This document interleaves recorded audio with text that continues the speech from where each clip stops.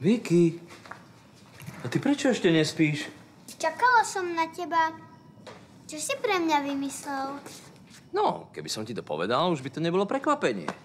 Ale neboj sa, bude to veľká sranda. Tak, a teraz to už vieš, takže môžeš ísť do postielky.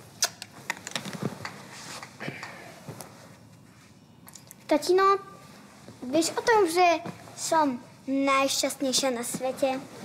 Ale vede, ja... A to je preto, pretože tu s nami bývaš. Moja láska. A budete mať ešte s mamou svadbu? Čo? Ty nevieš, že čo je to svadba? To je to, keď ty si zoberieš mamu za ženu a ona si ťa vezme za muža. A Aha. potom si budete hovoriť manželia.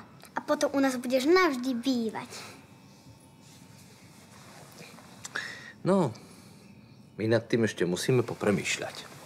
Tak požiadaš mamu o tú ruku? S maminkou sa nad tým ešte musíme poriadne zamyslieť.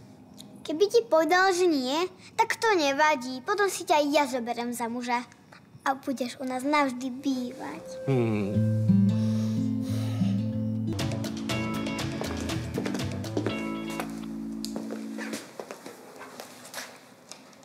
Toto čo je za bordel? Čo sa niekto v noci nudil, alebo čo? Toto je akože už fakt dosť. To si každý robí, čo chce, hej? A ja, aby som stále len upratovala a upratovala. Už ma to fakt nebaví. Počujete?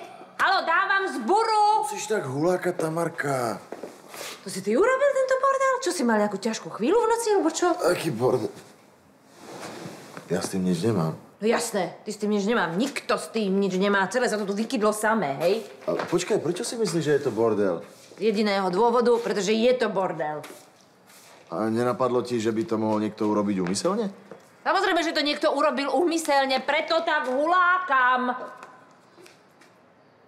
Počkaj, akože myslíš, že, že toto by malo niečo znamenať?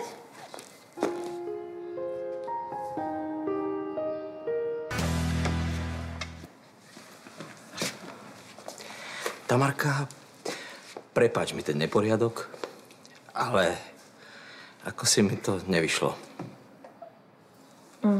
Čo? Čo, ako?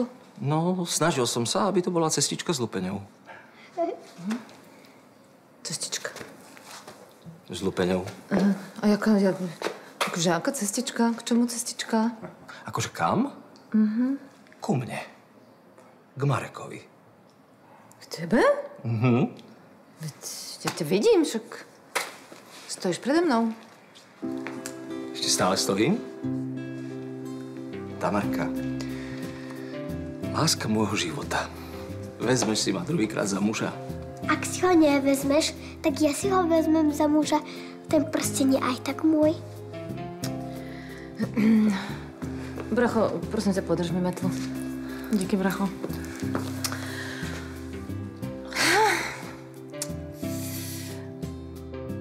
Jasné, že?